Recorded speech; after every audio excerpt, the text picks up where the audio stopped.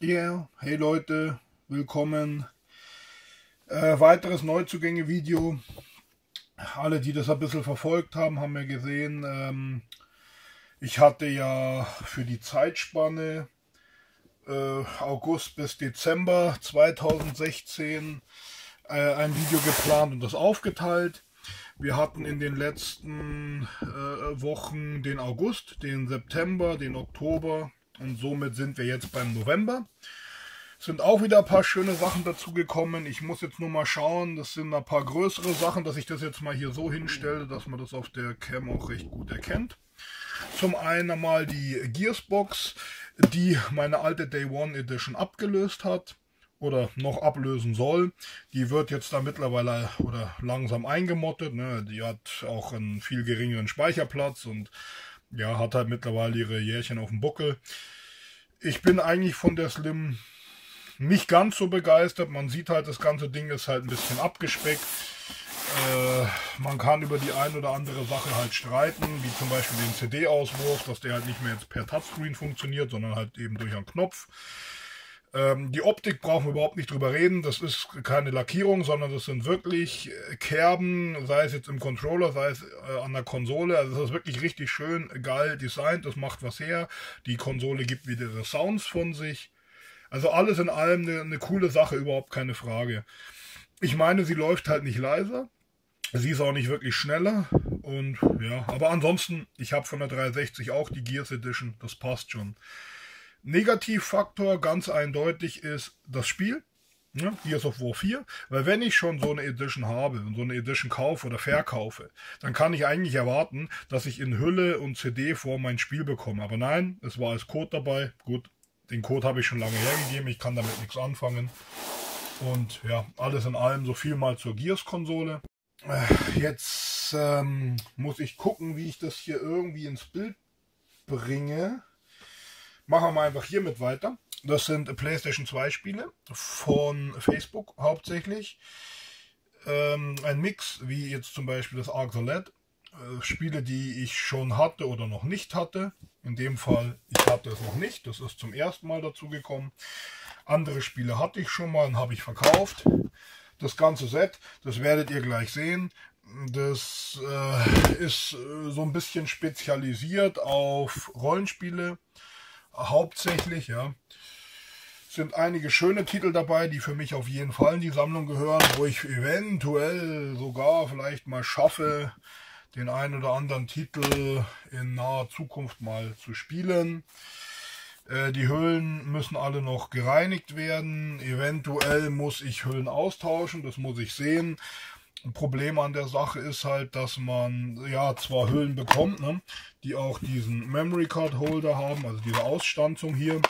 Nur die sind halt trotzdem äh, einfacher, billiger. Das merkt man auch wirklich stark, weil die, die kann man schon also fast zerdrücken, ver, ver, verbiegen, ja, mit zwei Händen. Und ja, da merkt man halt den deutlichen Unterschied eben zu den Originalen.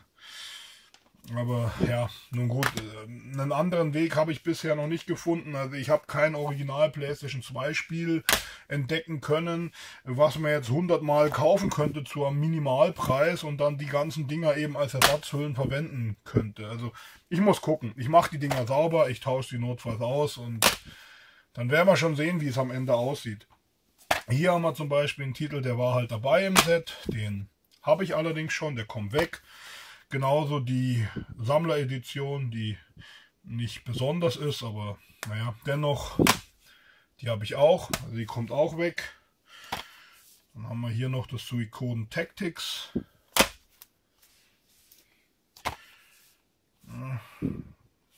kommt schon noch einiges hier, wie ihr seht. Hier schon wieder einen Titel.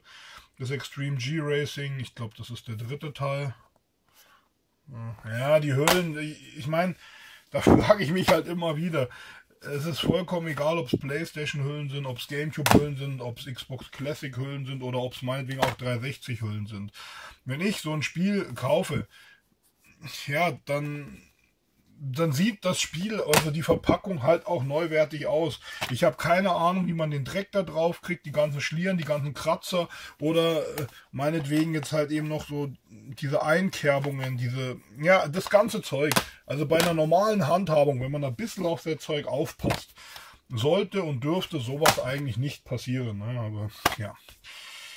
Ich meine, ganz besonders schlimm ist ja der ganze Sportspielkram. Da da passt überhaupt keiner mehr drauf auf. Wobei ich das irgendwo verstehen kann, ja. Muss man fairerweise dazu sagen. So, dann habe ich hier eine, ja, also kein offizielles Spiel. Der ein oder andere dürfte das Ding noch kennen. Ist von einem bekannten Forum ins Leben gerufen worden, produziert worden. Ist halt leider natürlich nicht original, schaut dennoch sehr gut aus. Also die Leute haben sich da echt Mühe gegeben. Ist ein schickes Ding ist, meine ich, auch limitiert, wüsste aber jetzt nicht auf wie viel. Bin ich froh, dass ich da damals eins von bekommen konnte und freue mich natürlich auf, auf alles weitere. Was als nächstes da kommen wird, ist Thrillkill. Das ist ja momentan noch in der Mache. Also da bin ich natürlich auch sehr, sehr gespannt, vor allem auf die ganze Optik. Dann haben wir hier ein Poster-Set, auch recht schön gemacht mit dem Karton von Doom.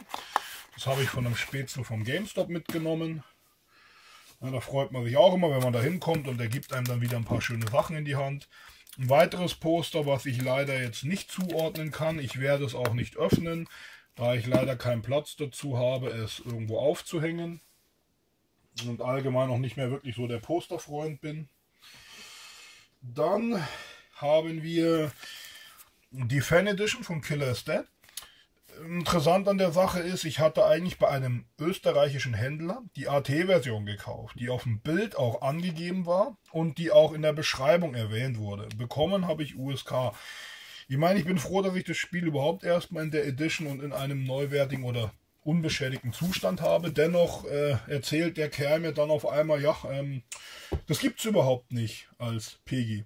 Keine Ahnung, warum bietest du es dann an? Weil ich möchte es als PEGI, weil mich das USK-Logo nervt. Aber nun gut. Weiter geht's mit ein paar wirklich schön designten Autos. Ich als alter BMW-Fan habe die Dinger gesehen. Die sind Anlass 100-jähriges äh, BMW-Jubiläum. Äh, die sind toll verarbeitet. Sie, es sind insgesamt acht Stück. Ihr seht, die sind da oben durchnummeriert. Das eben war die 1, das ist die 8. Ein Motorrad ist auch dabei. Die werden natürlich nicht geöffnet, die kommen in meine kleine BMW-Vitrine. Da sind also die ein oder anderen BMW-Fanartikel halt drin und ja, da kommen die halt dazu. Heben sich qualitativ, optisch ganz leicht ab, jetzt sage ich mal von diesem 0815 Zeug, was man in den Wühlkisten der Spielzeugketten etc. findet. Also wer nur halbwegs ein bisschen Interesse an BMW oder eben den Hot Wheels, Matchbox, was auch immer Autos hat, kann sich die ja mal anschauen. Die dürfte es überall eigentlich noch zur Genüge geben.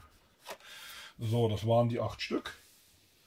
Dann habe ich ein Mega-CD-Spiel. Normal bin ich kein Mega-CD-US-Käufer. In dem Fall Road Avenger in der schönen Pappbox und das dann noch in einem ziemlich ordentlichen Zustand. Naja, da konnte ich dann doch nicht Nein sagen. Das war ein Ausnahmefall. Und ja, freue ich mich drüber, dass ich den Titel habe. Ansonsten schaue ich eigentlich nur nach den US-exklusiven Sachen. Project Zero hatte ich damals bei Amazon bestellt. Ich hatte eine Box gekriegt, die war hier runter recht geknickt. Sah halt nicht so schön aus. Umtauschen konnte man sie nicht, weil die keine mehr hatten durch einen netten äh, Kerl, sage ich jetzt mal, auf Facebook, konnte ich diese absolut unbeschädigte Version bekommen. Ich habe das Ganze dann einfach ausgetauscht. Also jetzt am Ende alles Paletti. Ebenfalls ein Austausch, wo ich mich sehr, sehr darüber gefreut habe, ist der Wonderswan. Und zwar in der Final Fantasy Edition, in dem Fall die zweite Version. Meiner war so, naja, hier so ein bisschen leicht beschädigt, hat ein paar Macken halt gehabt. Der ist jetzt 1A. Fragen muss ich euch aber leider sagen, könnt ihr euch sparen, weil der alte, leicht schlechtere im Zustand ist schon weg. Also hat sich erledigt. Der nette Marcel hat mir geholfen, auch das Kapitel Siphon-Falter mal abzuschließen oder Siphonfilter, wie auch immer. Ähm, das Spiel ist beschädigt worden und zwar so stark, dass das Cover vorn und hinten beschädigt war.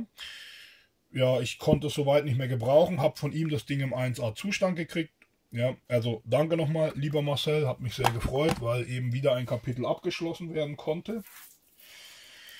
Dann geht es weiter mit dem Pre-Sequel von Borderlands. Ja, ich bin kein Borderlands-Fan, aber das Ding habe ich mir damals trotzdem mitgenommen.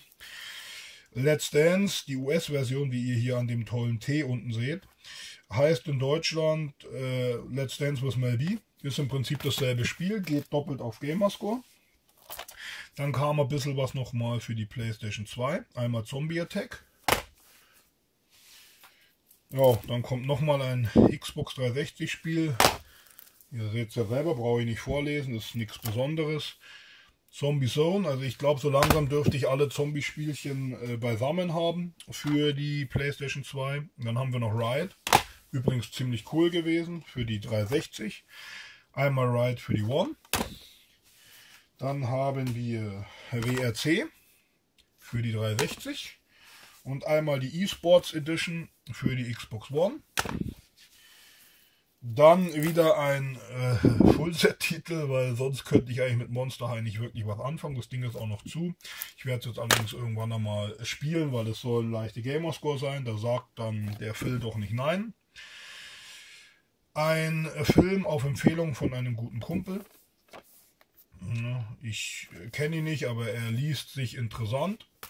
Mal schauen, wann ich dafür Zeit habe, ihn anzuschauen. MXGP2, klar. Resident Evil 5, äh, ja, ich bin Resident Evil Fan der ersten Stunde. Für mich ging die Serie ab Teil 4 nach unten. Teil 5 ist irgendwo seinerzeit der Tiefpunkt gewesen, weil wenn ich Action will wie in Teil 5, auch wenn natürlich der Koop-Modus ganz cool sein mag, da brauchen wir gar nicht drüber reden, aber wenn ich Action möchte, ja, dann spiele ich halt meinetwegen Army of Two oder ähnliches im Koop. Aber da brauche ich kein Resident Evil. also ich meine, Resident Evil steht für mich immer noch äh, irgendwo für Horror und nichts anderes. und der Horrorfaktor alleine, weil die ganzen Schauplätze ja super mega beleuchtet sind in dem Spiel, der kommt da ja mal viel, viel zu kurz. Ne? So, jetzt muss ich hier mal ein bisschen bauen, weil dann schiebe ich euch den Klotz hier rein. Da dürfte sich der ein oder andere auch noch dran erinnern. Das ist die Collectors to Battlefield 1, die einen viel, viel, viel zu hohen Preis am Anfang hatte. Die netten Herrschaften haben sich aber recht schnell einbekommen oder eingekriegt und haben das Ding dann zu einem normalen Preis angeboten, weil die Box selber super gemacht, echt schön, die Figur da drin. Ich persönlich meine auch, die ist jetzt das ist jetzt keine super mega hochwertige Statue, aber die ist echt in Ordnung. Ja. Genauso wie die von Mirror's Edge. Und ja, Spiel war USK-Version, das habe ich mittlerweile schon hergegeben, aber die Edition ist echt ein Hingucker, ist ein schönes Ding. So, wir haben jetzt hier so ein bisschen das Video der großen Verpackungen. Da muss ich nochmal ein Stück zurückrutschen. Skylanders, ihr seht USK. Ich konnte aber nicht Nein sagen. Es war bei unserem Mediamarkt im Abverkauf. Es ist die Dark Edition, also die umfangreichste Edition, die man bei den Skylander Packs bekommen kann. Skylander selber, bin ich auch ehrlich, ist äh, nicht so ganz mein Ding. Also da ist doch eher mit Infinity bei mir zu, zu rechnen. Ja. Aber dennoch zu dem Preis konnte ich selbst für die USK-Version nicht Nein sagen. Weil wenn du dir das Ding aus UK oder was kommen lässt, dann sieht das definitiv nicht mehr so gut aus wie diese jetzt hier. So, paar Kleinigkeiten.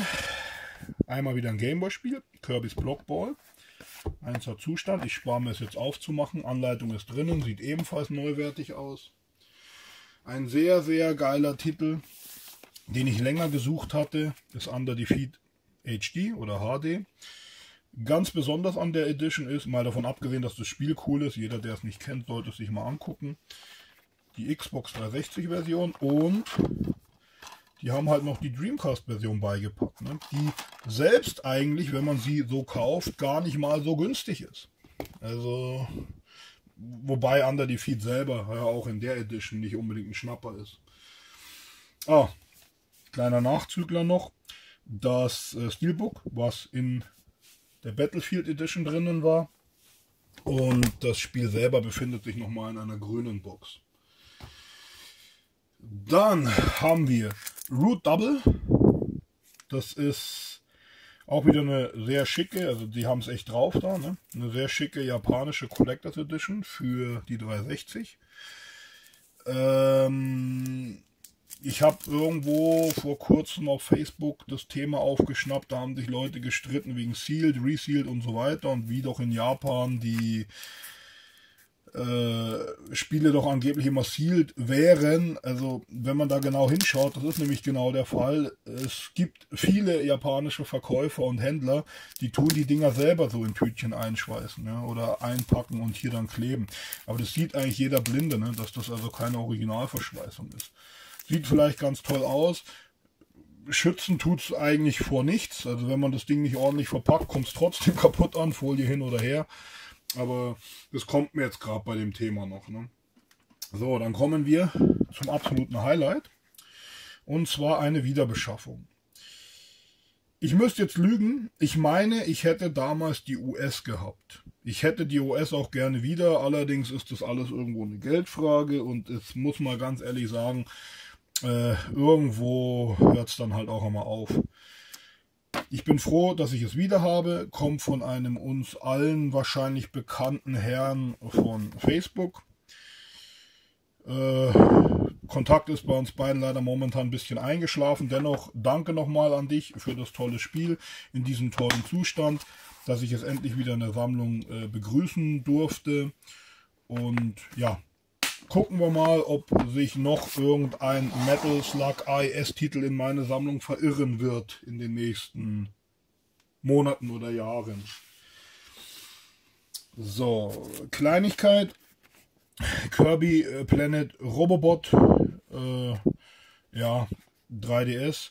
Mal eins der Spiele oder Limited Edition Packs, die nicht gleich vom Preis ins Bodenlose gefallen sind. Freut mich, weil viele andere, die ich geholt habe, die hätte man sich auch für ein Zehntel des Preises später holen können. Wird mir nicht mehr passieren, aus Fehlern lernt man. Dann haben wir Wrestle War Mega Drive, äh, auch nichts Besonderes, aber war sehr guter Zustand, ist mir für einen fairen Preis über den Weg gelaufen, habe ich mitgenommen.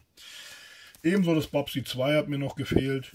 Es ist äh, ja auf Mega Drive deutlich leichter zu finden und zu bezahlen als zum Beispiel am Super Nintendo. So, dann habe ich noch diesen fetten Klopper hier. Jetzt rutsche ich nochmal einen Pfund zurück. So. Und zwar ist das die Big Ben Edition von Assassin's Creed Syndicate. In dem Fall äh, jetzt nicht die Edition. Ich mache hier schon mal das Ziffernblatt hier ab. Das ist so ein recht aggressiver Magnet. Ne? Den kann man hier schön abnehmen. Äh, in dem Fall die Edition, die es im Ubi Store gab, die unterscheidet sich minimal von der normalen Version, aber dennoch, ich wollte diese haben. Ich habe diese bekommen zu einem sehr fairen Preis. Das Ganze klappt man dann hier auf. Dann kommt die Figur zum Vorschein. Also alles so Assassin's Creed typisch, recht cool und schön gemacht. Wenn ihr jetzt denkt, das ist schon alles gewesen, nein. Da schalte ich euch die Kamera jetzt mal ein bisschen hoch.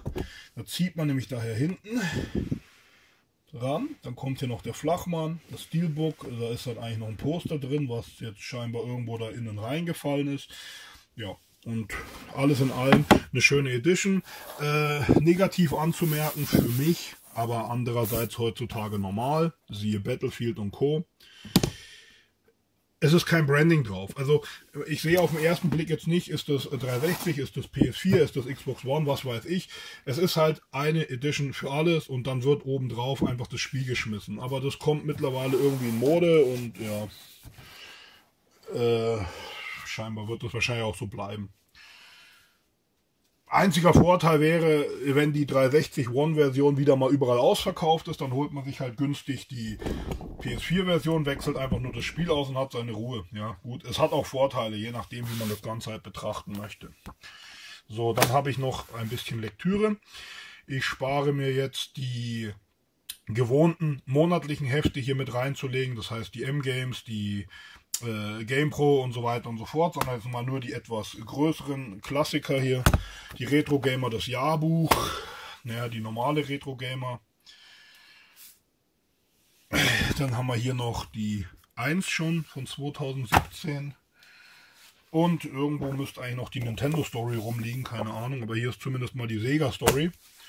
So, das war mal an Geheft alles. Und somit wäre ich auch schon wieder durch mit meinem Video. Das waren jetzt die Zugänge für den November. Ich werde schauen, dass ich, da wir ja schon das Jahr 2017 haben, ja, dass ich die Dezember-Zugänge auch noch möglichst schnell über die Bühne bringe. Und dann geht es geplanterweise äh, Ende Januar dann ganz normal weiter mit Zugänge Januar, Februar und so weiter und so fort. Dann ist das alles wenigstens auch halbwegs im Zeitfenster richtig, ja, was die Zugänge angeht. Gut, Leute, ähm, ich hoffe, es war wieder halbwegs interessant. Äh, lasst mir wie gewohnt, ich sag's gerne immer wieder, lasst mir Abos da, lasst mir Kommentare da, lasst mir Likes da, alles freut mich. Und ich wünsche euch was, bis die Tage. Ciao.